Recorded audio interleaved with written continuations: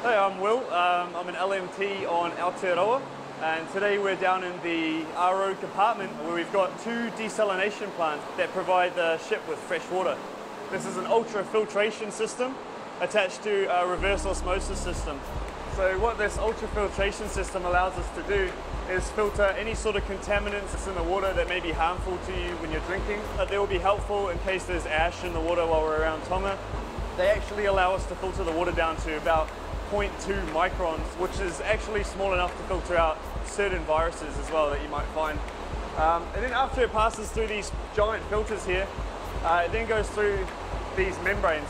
The water is pumped along at high pressure, and this is where uh, the salt is separated from the water, and on the output you get clean, fresh, drinkable water, which is then stored in the uh, ship's fresh water tanks, and we're able to hold up to 250,000 litres of water.